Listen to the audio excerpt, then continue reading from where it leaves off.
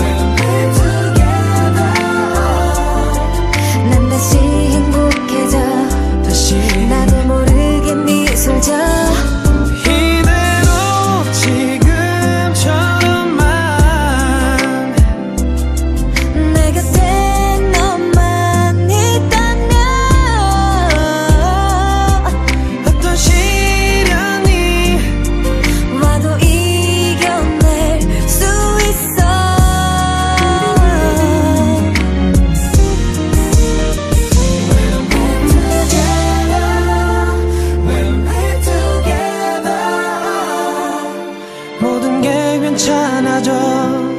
아픈 기억도 사